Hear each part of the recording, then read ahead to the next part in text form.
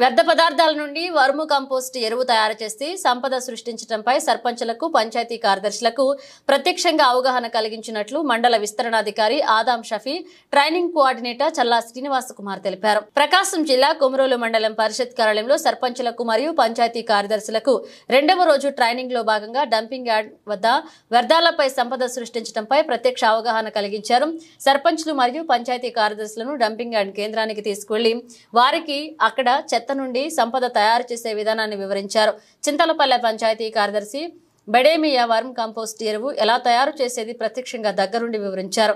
ఈ సందర్భంగా training coordinator Challa Srinivas Kumar మండల విస్తరణాధికారి ఆదాయం షఫీలు మాట్లాడుతూ ప్రతి గ్రామ పంచాయతీలోని డంపింగ్ అండ్ కేంద్రాలు ఉన్నాయని చెత్తను అక్కడికి చేర్చగానే తడి చెత్త పొడి చెత్తను వేరువేరుగా ఉంచి అటు తర్వాత వ్యర్థాల నుండి ఎరువులు తయారు చేసుకోవచ్చన్నారు.